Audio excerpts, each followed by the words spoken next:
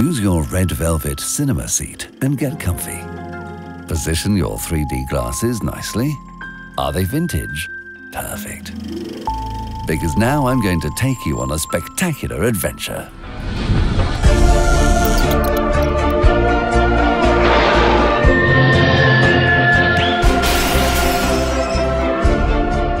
This is an unprecedented journey.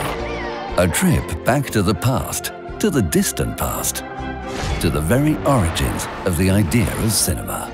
L'arrivée du train La Ciotat en 2D était déjà un film en 3D, puisque les gens pensaient que la locomotive allait traverser l'écran.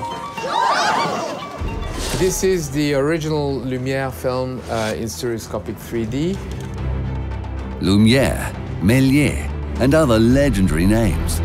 Vincent Price, Andy Warhol, Totò, the master of suspense Alfred Hitchcock, all tried their hand at 3D.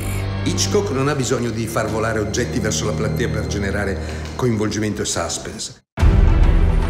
Long before Avatar, amazing scenes enthralled spectators across the world. Movies that have gone down in history. Classics of every genre. Inspired experiments. And even documentaries. Stasera al Palazzo del Cinema nessuno entra ad occhio nudo. Guardi pregiati diventano clandestini. A forgotten era of cinema returns to shine in its original form.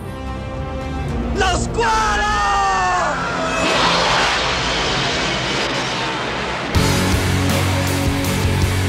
Thanks to sophisticated technology, even the blockbusters of yesteryear get a new lease of life in 3D. For the first time, an invaluable series of films tells the magical story of man's race towards the stuff that dreams are made of. And a documentary shows what went on behind the scenes.